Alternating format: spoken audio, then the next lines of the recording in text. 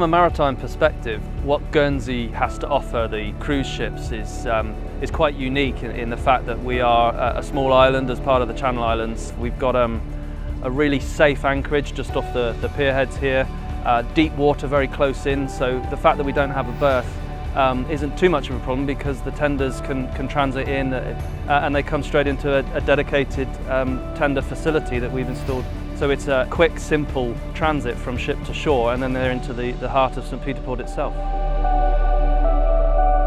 They arrive right in the heart of our market town here and it's beautiful. Within a few minutes they can be on their, their tours and excursions or exploring independently. So we've listened to the industry and developed, so we've introduced new tours, new experiences, which is what it's all about.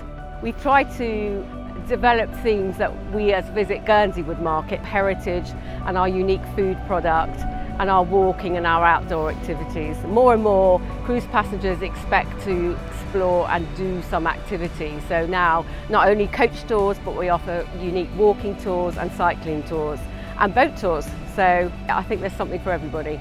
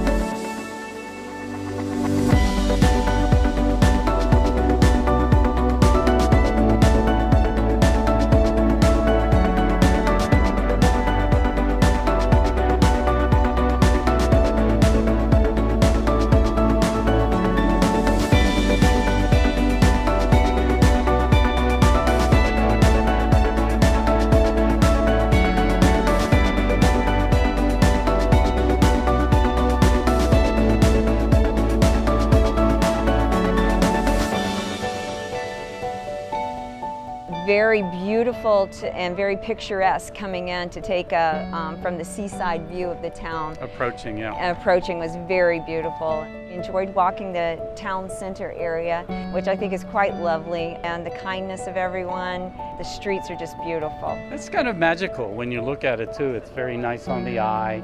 I loved it. I'd totally do it again and recommend for anyone to try it.